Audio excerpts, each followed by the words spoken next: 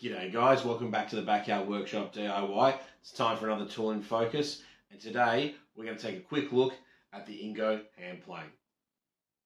So straight up, looks like any other hand plane, but a couple of main differences.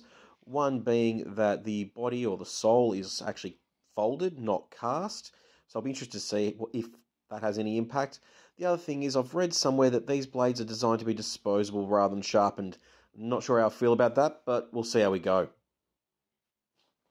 Okay, now, first thing, as I said, I want to see how this thing goes straight out of the box. Two adjusters here, and a pressure plate there to hold it in place.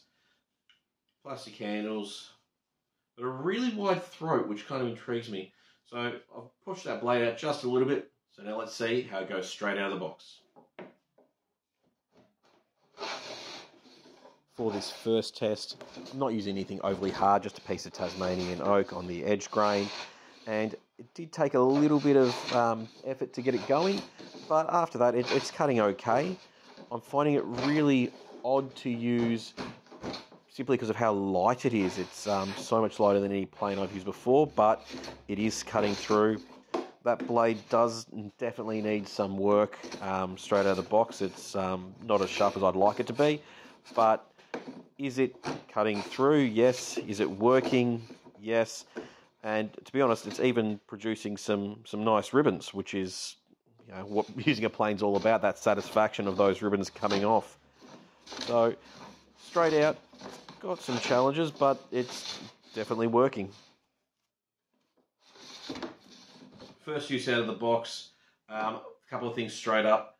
I clearly didn't have this tight enough to begin with because I uh, lost my, my blade back up past the sole. Um, I found this wide throat just kept getting blocked with um, with ribbons, which was a little frustrating, and just its general smaller size I found for my hands was a little bit uncomfortable, but super light, so I think I could use it for quite a long time. Now, just for a quick comparison, I've got Stanley number four here we can see that lengthwise we're pretty much the same, but width is where there's a big difference, and there is a huge difference in weight. Now, um, what we do need to go back to is that the price point for this is under $20. I need to add another zero and then some for this one here. So, from a budget point of view, that's a whole lot cheaper. So there you have it, guys. A really quick look at the Ingco hand plane. Um, to the, the Stanley, well, there, there, there is no comparison to the more expensive planes. It is a bit smaller. I do find it a little bit too small for my hands because I, as you can see, I, I hit down there, don't really fit.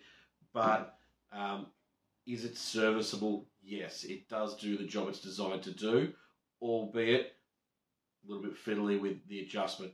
Now, what I want to do is take that blade off give it a sharpen because as I said, cutting just then was purely just straight out of the box and see how we go. I'd love to sharpen the blade, see if that makes a bit of a difference. But overall, for under $20, it does the job. Now, I do need to do a special shout out to the legends over at Master Warehouse Australia for hooking me up with this to give it a shot. Um, really appreciate your support. Now, if you've enjoyed this video, make sure to hit that subscribe button and also jump over to Instagram and anywhere else you follow me and make sure you're following along so you get new content. And always, have a good one, guys.